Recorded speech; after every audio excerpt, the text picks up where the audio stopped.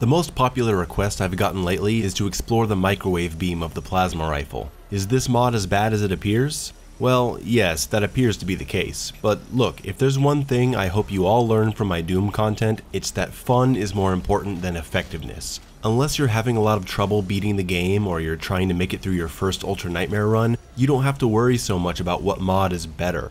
Microwave Beam, while not being particularly useful on Ultra Nightmare, can be a really fun mod to use in combo, and combos are what the Microwave Beam is all about.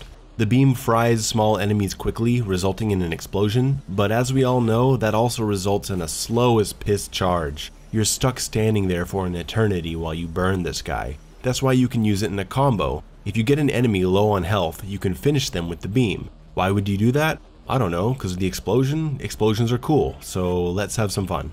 Let's take a Revenant. Sticky Bomb the weak point, Rocket in the face, Microwave Beam. Or Ballista, Blood Punch, Microwave Beam. Here's a series of enemies being comboed with a Microwave Beam finisher.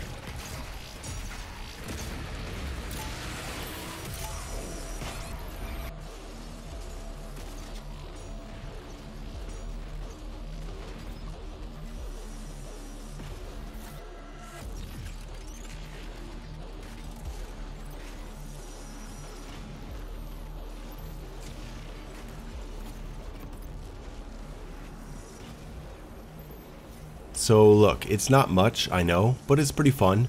The microwave beam is also a quick snipe on shield guys at a distance, and it can be a decent emergency weapon when you just need something to stop for a moment. If someone else has cool uses for the microwave beam, leave it in the comments. I think it's a really fun mod, but maybe there's something more out there to be discovered. Thanks for watching, see you in the next video. Also guys, one more thing, I just want to say that this Saturday at 11 o'clock Eastern Time, I'm going to be doing my first live YouTube stream. I don't know what to expect from it, I'm just going to do it for fun to talk to you guys, and uh, I'll take some questions and play some games on stream, and we'll see how it goes. I hope you can join me. This Saturday, May 9th at 11 o'clock Eastern Time.